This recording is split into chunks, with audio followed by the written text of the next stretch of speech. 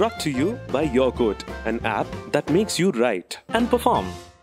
ये एक टाइम की बात है जब मैं लाइब्रेरी में बैठा हुआ था और मेरी नज़र एक लड़की पे पड़ती है।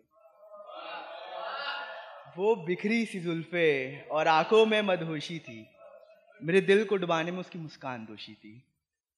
अरे कुछ दिन पहले की ही बात है। लाइब्रेरी में भी मुलाकात है। बातें भी हो गई दोस्ती भी हो गई नंबर एक्सचेंज भी। दिल कहा दिल ने कहा, भाई, संभल के, इतनी जल्दी भी क्या? सब ठीक ठाक है? मैंने कहा, पगले या डूब जाने दे मुझे। मैंने कहा, पगले या डूब जाने दे मुझे? पहली बार किसी लड़की को देख के लगा, यार, इसमें कोई बात है, इसमें कोई बात है।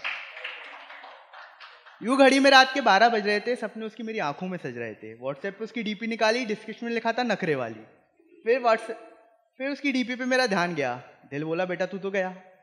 साइड पोज में शर्माता सा चेहरा। कान में एक झुमका सुनहरा, उसकी आँखों में कोई रास था गहरा जिसने किया मेरे दिल पर पहरा। मैंने कहा, मैं तो आबाद हो गया। पर पीछे से सहमी सी आवाज़ में मेरे दिल ने कहा, भाई, तू बर्बाद हो गया। फिर उससे मुलाकात हुई और इस बार अंदाज उसका अनोखा था। उसका यूँ मेरे पास आना सच था, महज एक धोखा था। राजस्थानी जूती पहनी थी और बालों में बग शेप की थी क्लिप। इतने मासूम से चेहरे पे ना जाने मेरा दिल कैसे हो गया स्लिप? दिल ने कहा, बचा ले प्यारे। मैंने कहा, उसकी आँखों में नशा है प्यारे। दिल ने कहा, मुझे दोबारा नहीं मरना। मैंने कहा, मुझे तो बस अब इसके साथ जीना मरना। मुझे तो बस अब इसके साथ जीना मरना। सामने किताब थी, मगर बगल में बैठी थी वो। ऐसा लग रहा था जैसे हाथ की किसी ना किसी लकीर में है वो। बचपन में माँ कहती थी कि, सर बहुत घूमता है तेरा, मगर उस वक्त तो निगाहों का मुड़ना भी मुश्किल था मेरा। यूँ उनकी कशिश में घुमाया उन अपना चेहरा, मगर उनकी जुल्फों ने कर लिया पहरा। बस झलक रहा था तो उनका वो झुमका सुनहरा उनका यूँ जुल्फों को हटाना, उनका चेहरे का फिर मेरे सामने आना, मेरी नज़रों का बार बार उन पर टक जाना, उनकी निगाहों से अपनी निगाहों को बचाना, फिर मेरा पकड़े जाना, उनका यू शुरमाना और एक दूसरे को देख मुस्कुराना। आँखों से बातें होने लगी और दिल से दिल की मुलाकातें होने लगी। उस वक्त दिल मेरा खामोश था, क्योंकि उस पर प्यार की इनायतें होने लगी। लाइब्रेरी में आँखों से बात करने लगे, लंच भी फिर हम साथ करने लगे। जो एक दूसरे को देख शर्माते थे, आज एक दूसरे को छोटी छोटी बातों पे चढ़ाने लगे। इस तरह हम यूँ करीब आने लगे। दिल से दिल की मुलाकात हो गई थी। उनकी आपस में हाँ हो गई थी। अब लबों की बारी थी। इश्क को अल्फाज में बया करने की बारी थी। उस वक्त एक शाम में इन्हीं ख्यालों में गुम था, तभी मेरी माँ का कॉल आता है। उनकी आवाज़ काफ़ी कमज़ोर थी और आँखों से, चेहरों, चेहरे से मुस्कान दूर थी। माँ ने बताया कि पापा की तबीयत खराब है। मैं काफ़ी घबरा गया और माँ से घर आने की जिद करने लगा। मगर मेरी माँ ने बस इतना कहा कि, क्या होगा अभी घर आने से?